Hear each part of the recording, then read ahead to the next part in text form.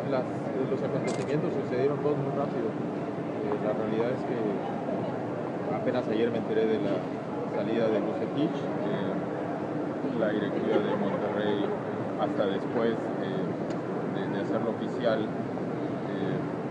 me invitó para venir a, a platicar con ellos. Este, evidentemente si estoy aquí es porque me interesa muchísimo el proyecto que ellos me han planteado. Realmente me honra que piensen en mí, que me inviten. Y, bueno, pues este, hay un interés recíproco, vamos a, a, platicar, hay detalles ahí que hay que platicar y después Claro, pero prácticamente está, pues, se puede decir, muy adelantado, ¿no? Sí, está adelantado el tema de lo que hablamos ayer. En realidad, este, de fútbol y tampoco se necesita tanto de, de, ciencia para eso, ¿no? Cuando hay interés recíproco las cosas se facilitan mucho. Llegar a Monterrey un equipo con tanto potencial, este, ¿se puede revertir en este mismo torneo hacer algo con este equipo? Es la intención, sin duda, es, es la meta que tenemos porque no puede una institución tan grande, un equipo tan poderoso, con tanto potencial como Monterrey, apenas en la fecha 8, eh, echar el campeonato de lado y replantearse para el siguiente. Creo que es posible, por, insisto, por el material humano que hay. Eh, Monterrey los últimos torneos se ha caracterizado por ser un equipo protagonista y ese es el primer objetivo que hay que atacar, regresarlo ahí a esa situación. un, un, entrenador que fue tan exitoso, este, que obviamente puede haber comparaciones y todo, ¿cómo estamos en ese sentido el reto? No, mis respetos para Víctor Manuel Bucetich y mi, mi reconocimiento, ha ganado muchísimas cosas, en ningún momento vengo a competir con él o a, compararme.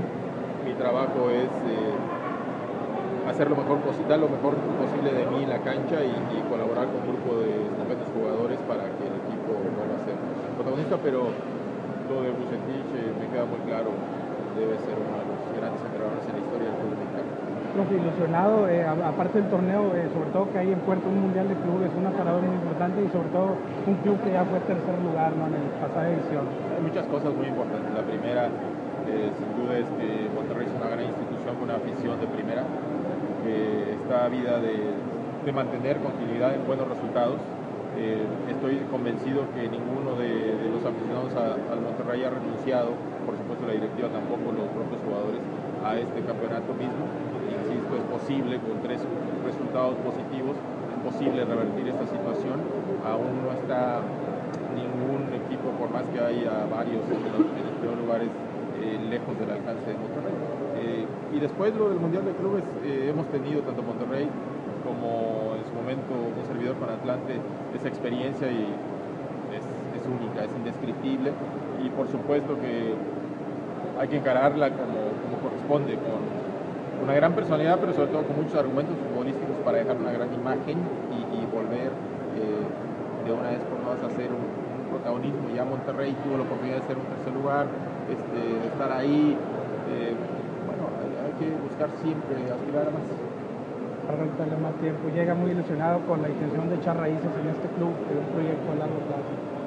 Yo siempre que, que, que alguien me honra y me invita a trabajar con sus proyectos, me ilusiono, me emociono, soy un tipo pasional en mi trabajo y, soy alguien que de concretarse más tarde esto que estamos platicando, soy alguien que me agregaré a un grupo de extraordinarios jugadores, un equipo de trabajo que queremos conformar muy bueno y que aspire a este mismo rescatar y recuperar mucho del camino perdido. ¿Quién sería tu cuerpo técnico al concretarse la contratación? Bueno, estamos todavía en esas situaciones y lo primero que platicas son esos los pequeños detalles que hay que platicar más tarde. ¿Ahorita viene acompañado con gente que quiera hacer tu cuerpo técnico? Sí, sí, eh, confirmados eh, Martín Salcedo y Arturo Corona.